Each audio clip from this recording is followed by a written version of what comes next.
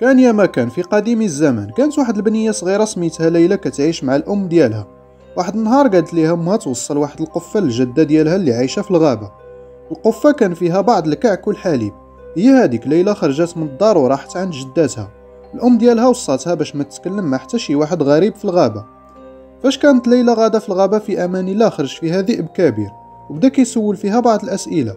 ليلى نسات الوصية ديال امها بقات كتجاوبو الذئب قدر يعرف الوجهة ديال ليلى وقدر يعرف مكان الكوخ ديال الجدة وقدر يسبق ليلى لبيت الجدة قبل ما توصل.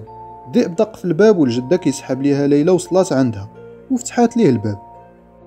الذئب المتوحش هجم على الجدة وكلاها من بعد لبس ليها الملابس ديالها ونعس في السرير تاعها. فاش وصلت ليلى شافت الشكل ديال الجدة وجاها ماشي هو هذاك. سولاتها علاش جداتي عينيك كبار بزاف؟ جاوبها الذئب باش نقدر نشوفك مزيانة بنتي ليلى. عاودت ليلى سولاتو. علاش ودنيك كبار حتى هما؟ جاوبها تاني. باش نقدر نسمعك مزيانة بنتي. سولات الذئب عاوتاني. علاش فمك كبير وسنانك حتى هما كبار وباينين؟ جاوبها الذئب الشرير. باش نقدر ناكلك بنتي. وهنا الوحش هجم على ليلى وكلاها. موراها من بعد ما كلا الجدة وكمل بليلى قرر ياخذ قيلولة ويرتاح شوية. هاد الوقت كان فيه واحد الصياد في الغابة كيقلب على الديب. فاش لقى الباب ديال بيت الجدة مفتوح دخل يشوف شنو واقع.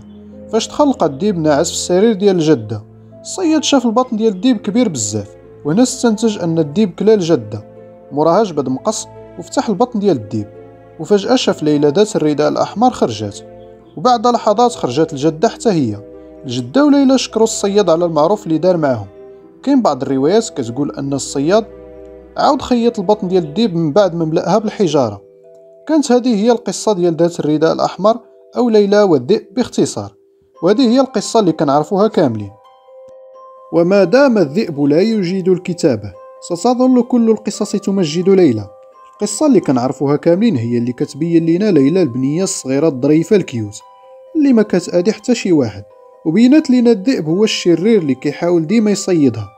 ولكن غير بلاتي تسمع حفيد الذئب شنو كيقول في هادشي كيقول حفيد الذئب جدي كان ذئب لطيف وطيب وما كانش تياكل اللحم. داكشي علاش قرر يصبح نباتي ولا بأس ببعض الحشرات الضارة أحيانا. وكانت كتعيش في الغابة فتاة شريرة مع جداتها وسميتها ليلى. هاد ليلى كانت كل نهار كتخرج للغابة وكتقلع الورد. وكتدمر الحشائش اللي كان جدي تياكلها. وكان جدي كيحاول ينصحها باش تحبس هاد الأفعال ولكن دون جدوى. وبقات ليلى كتعاندو غير زايدة فيه. حتى قرر جدي الذئب يزور الجده ديال ليلى ويعاود ليها على الأفعال اللي كدير ليلى. فاش دق في الباب فتحات ليه الجدة. ولكن مع الأسف حتى هي كانت شريره فحالها بحال ليلى. الجده جابت عصا كبيرة وهجمت على جدي المسكين. ولكن هو غير دافع على راسو ودفعها باش تبعد عليه. وهي طيح وضربات راسها مع السرير وماتت. جدي المسكين كان حساس وحنين بزاف وتأثر بداك الشي اللي وقع للجدة. وبقى كيفكر كيفاش غادي تعيش ليلى بلا جداتها. ناض لبس الملابس تاع الجدة ونعس في السرير ديالها. ولكن ليلى كانت شريرة بزاف وشافت التغيير في الشكل ديال جداتها وخرجات ونشرت الإشاعة بأن الذئب أكل الجدة ولا يزال الجميع يصدق القصة إلى يومنا هذا.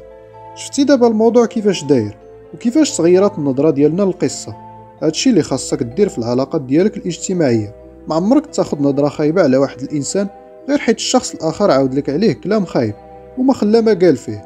وكيف ما بغى يكون كلامه مقنع حاول ديما تفكر خارج الصندوق. وحاول تعطي فرصة للطرفين كل واحد يعبر على الرأي ديالو وإلا غتكون ظلمتي الشخص الآخر. حتى لهنا غادي نكون وصلنا لنهاية المقطع.